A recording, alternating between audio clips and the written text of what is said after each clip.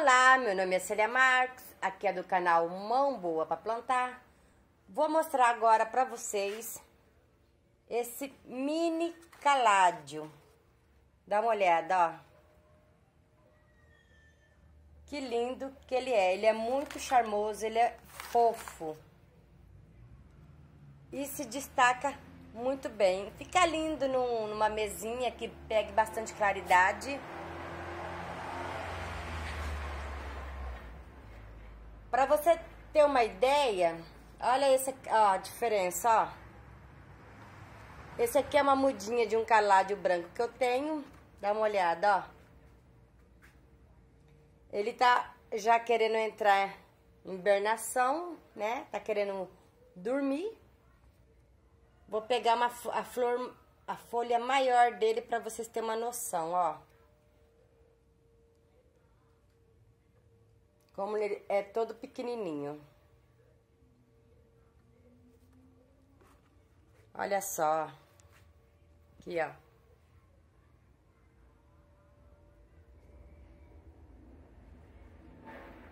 Viu?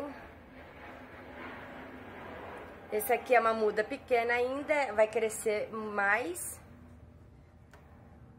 E o caládio mini, deixa eu mostrar esse aqui que lindo, ó. Esse aqui é novo. Ele é, a folha dele chega a ser transparente, tá vendo? Ó. De tão fininha que é. Olha só que linda, ó. Olha esse aqui. Este aqui, no caso, ele já tá querendo entrar em, em dormência, né? Eu não retiro as suas folhas. Eu deixo ela, né? Pra quê? Pra o bulbo extrair todos os nutrientes necessários que, que ele precisa. Então, eu costumo deixar a planta secar, né? Olha, ó. Ainda tá nascendo ainda, mas eu não tiro as velhas, né? Pra, pra esse... a planta ter bastante nutriente. O caládio mini, né, que é a proposta do vídeo, ele é de crescimento rápido. Ele gosta de bastante claridade, um lugar que tem bastante claridade mesmo. Principalmente por causa das suas, né, das suas partes brancas, né? Um solo bastante drenado, que as suas raízes, é, raiz não, né? Que ela, no caso, é de batata, o tubérculo, como muitas pessoas é, falam, para nutrir bem as suas batatas. Não gosto de um solo encharcado, porque senão vai apodrecer a, a sua, sua batatinha, né? Mas é uma planta que gosta de bastante água. Só não gosta de ficar encharcada, né? Então, o segredo para você encher esse vaso, deixar ele bem cheio, bem bonito, claridade, um solo bem drenado e água para ela não ficar desidratada. E de preferência a água só apenas na terra. É, por mais que ela seja é, uma planta bulbosa, né, um tubérculo, como muitas pessoas falam de batata, ela gosta de água, ela só não gosta da água parada para não apodrecer, no caso, a, as suas batatinhas, né? Mas é uma planta que ela ama água.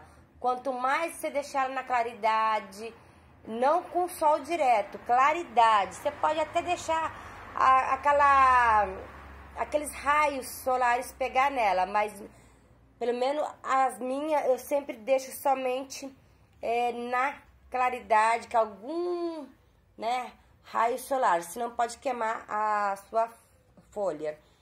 E ela também, pessoal, ela, se você deixar ela desidratar, as suas folhas, né, elas vai murchar e vai cair. E normalmente você não vai conseguir fazer ela voltar a ficar é, pra cima, né? Bonita. É, provavelmente ela vai ficar com aquela folha lá caída e vai ser meio difícil ela estar voltando.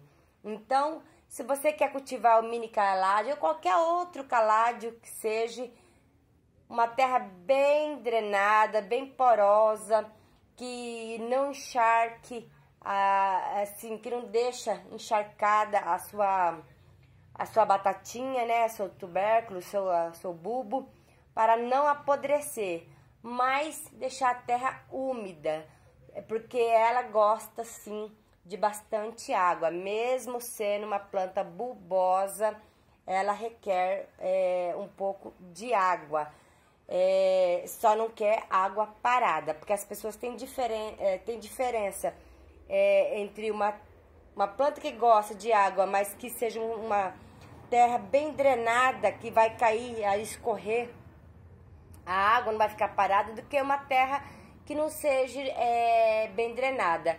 Você não vai plantar ela numa terra argilosa, compacta, não.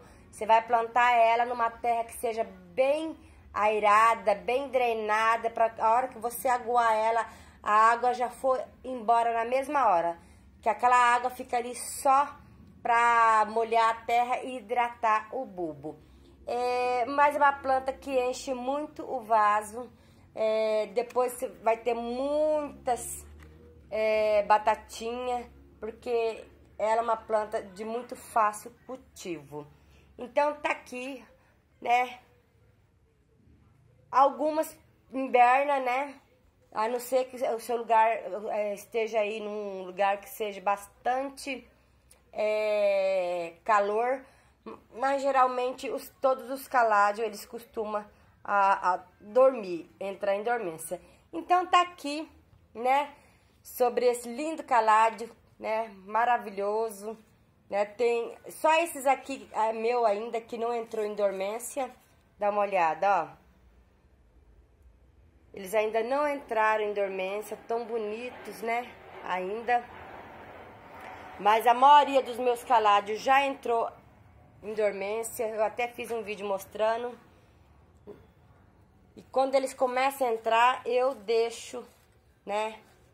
As suas, aqui ó, suas folhas secares, secar toda. Eu não fico cortando não. Então, se vocês gostou, compartilhe que ajuda muito o canal a crescer. Até mais!